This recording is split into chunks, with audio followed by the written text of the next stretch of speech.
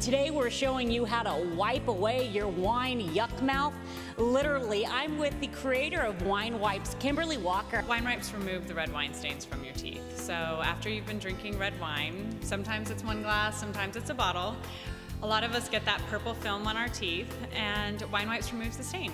So, how did you come up with this? Uh, I was drinking a very heavy Syrah. It was actually DeFranzo Syrah. Uh, winemaker in San Luis Obispo, and I loved his wine, but every time I drank it, I would get this really ugly dark purple film on my teeth.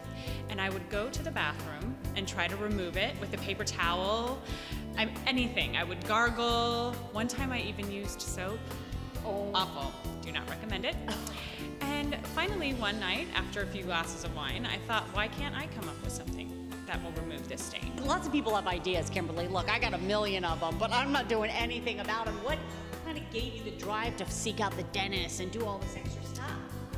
Um, I would say support from my friends and family. Absolutely. I mean, everyone just said, why not do it? Just try it. And I thought, well, if I'm not going to do it, somebody else will. And so why not just try it? What do I have to lose? And the number one question I get from people is why does it cause that red stuff on your mouth? Why does it cause it? Well, there are a few different theories. Theories. Uh, but one that I, I see the most of is that the more people whiten their teeth, the more porous your teeth become. So um, every time you use a at-home teeth whitener or go to the dentist and get your teeth whitened, your teeth are more susceptible to the stain. If they're already kind of porous, it, it makes it worse. Some people immune to the stain. It's yeah. a miracle. It's a it's a gift. Be thankful. But most people, when they're constantly whitening their teeth, break down the enamel, and then things like coffee, tea, and red wine stain them more. Dr. Oz did an amazing segment uh, why red wine is good for you, but also why it's so harmful for your teeth. And he uh, thankfully said that there are two options for wine drinkers. They can either drink out of a straw or use wine wipes. Because wine wipes actually protect your teeth from the acids in red wine. We have calcium and glycerin in the formula, which um, acts as a barrier from the acids in wine. It must feel pretty dang good to have Dr. Oz say these are your. It was it was exciting. I had no idea.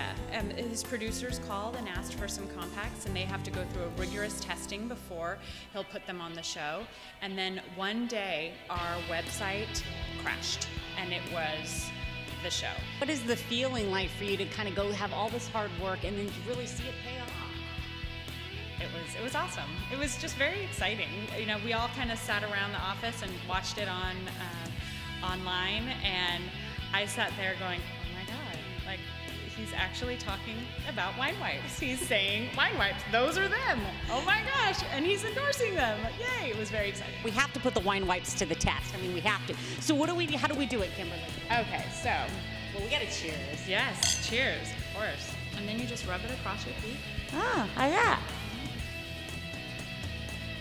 and then voila.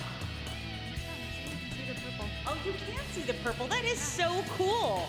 Well, I think we should cheers to wine oh. wipes. Well, cheers. Cheers. Thank you so much for having Thank me. you to always having white teeth.